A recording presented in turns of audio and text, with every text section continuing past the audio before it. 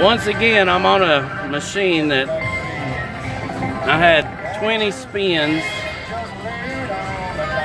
Playing a dollar twenty. I wish I was playing four. I'd be looking at more than just breaking even. Let's see what it does here. Now, 252, that ain't bad. Let's do a 40 cent spin. And just for my viewers, a $4 spin. Let's go big, people. One more. One more. Alright, one more, people, and that's it. I'm starting to think I have a gambling problem.